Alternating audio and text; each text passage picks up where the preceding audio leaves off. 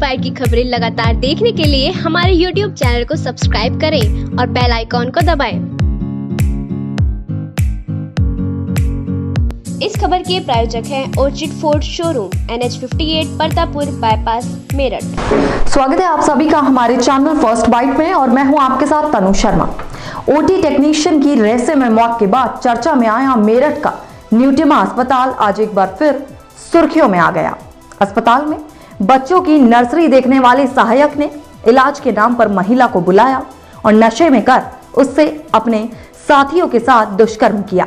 महिला ने आज एसएसपी कार्यालय पहुंचकर अपनी आप बीती बताई तो पुलिस में हड़कंप मच गया। पुलिस ने आनंद फानंद में रिपोर्ट दर्ज कर जाँच शुरू कर दी है। गंभीर आरोपों के खुलासे के बाद न्यूटिमा प्रबंधन सख्ते में आ गया है। अपना पक्ष रखने के बजाय सभी ने मुँह पर ताला लगा लिया है। आरोपी फरार बताए जा रहे हैं। मोदीनगर निवासी इस महिला ने आज एसएसपी कार्यालय पहुंचकर अपनी शिकायत दर्ज कराई। उसने बताया कि नशे के बाद जब उसकी आँख खुली तो वह किसी कमरे में थी। आइए देखते हैं क्या बता रही है पीड़ित महिला। सर, हम मोदी नगर से किसी डॉक्टर को यहाँ पे न्यूट्रीमा में रामू नाम के डॉक्टर को दिखाने आए थे। मैं, मेरी फ्रेंड मैं अपने बच्चे के इलाज के लिए आई थी। यहाँ पे आने के बाद उन्होंने नंबर जो दिया हुआ था डॉक्टर का ही दिया हुआ था हमें। अच्छा। यहाँ पे आने के बाद उन्होंने हम मेरी फ्रेंड से कहा जाओ तुम टिकियर पानी ले आओ। क्योंकि वो पहले से भी इलाज कर चुके थे उनकी बेटी का थोड़ी जो उनकी जान पहचान थी उसे भेजते उन्होंने मेरे से कहा कि तुम यहाँ कोल्ड ड्रिंक रखी है? तुम थके हुए भी होंगे लो कोल्ड ड्रिंक पी लो।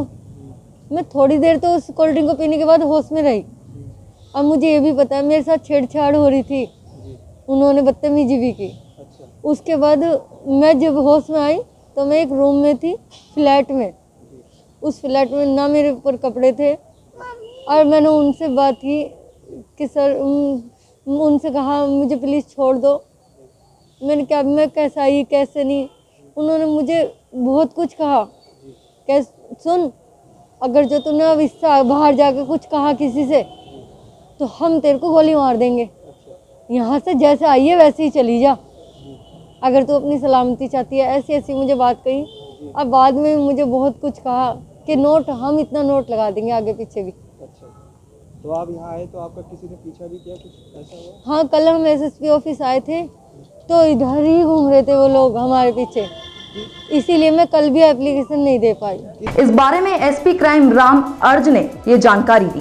देखिए एक डॉक्टर महिला है जो है उसने एक अस्पताल के डॉक्टर के द्वारा जो है अपने साथ गलत काम करने का आरोप लगा करके प्रार्थना पत्र यहाँ भी दिया है जो है। इसकी प्रार्थना पत्र पर थाना मेडिकल संबंधित चूँकि मामला है तो थाना मेडिकल की फोर्स को और सीओ सिविल लाइन को बुलाया गया और उनको तत्काल मौके पर भेजा गया है और जाँच करके तत्काल उसमें विधिक कार्रवाई सुनिश्चित न्यूटिमा प्रबंधन का भी इसके बाद पक्ष सामने आया है। आइए देखते हैं क्या कहना है अस्पताल प्रबंधन का। देखिए, हमने न्यूज़पेपर के माध्यम से देखा था कि ऐसा कोई मामला सामने आ रहा है। तो हमने उस एम्प्लॉई को आइडेंटिफाई कर लिया है। वो हमारे यहाँ नौकरी पे अब आ नहीं काम पे आ नहीं रहा है। और अगर ऐसा कोई मामला है और सिद्ध होता है तो हम जो भी सरकार की सहायता होगी, पुलिस सहायता होगी, वो करेंगे। और हम इस घटना की पूरी पूरी निंदा करते हैं। इस आरोपों के बाद न्यूटिमा में कार्यरत आरसी यादव रामू भी सामने आ गया है। अपने ऊपर लगे आरोप को नकारते हुए उसने फ़र्स्ट बाइट को ये जानकारी दी। मैं आपका? मेरा नाम आरसी यादव और कहते हैं रामू। मैं न्यूटिमा हॉस्पिटल में जॉब करता हूँ एनआईसी में कोऑर्डिनेटर हूँ। ये एक रेप का मामला सामने आ रहा है जिसमें आपका नाम आया है। क्या पूरा मामला है और क्या कहना है आप सर पूरा मामला ये है कि मैं टैक्सी ड्राइवर एक टैक्सी ड्राइवर है राजेंद्र सिंह। उन उनके साथ में सत्ताईस तारीख में मैं टैक्सी लेकर मुरादाबाद गया हुआ था। और उनके कुछ बैलेंस रह गए थे। मैंने कहा था नेक्स्ट डे आप ले लेना। पैसे आके न्यूटिमा में उन्होंने कहा, दस बजे दे देना। मैंने कहा, दस नहीं, दो बजे के बाद। दो बजे उनका फ़ोन आता है कि आप मुझसे पैसे आप मुझे नीचे भिजवा दो मैंने कहा, सर, मेरे पास राउंड चल रहा है, अभी मेरे पास टाइम नहीं है। आप ऊपर आके पैसे आप मुझे यहाँ से ले जाइए।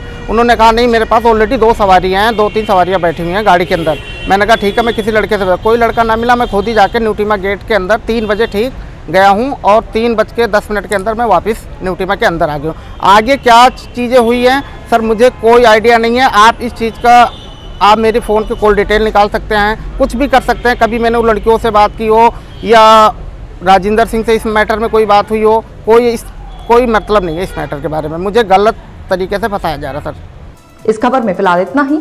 देखते रहिए फ़र्स्ट बाइट टीवी नमस्कार।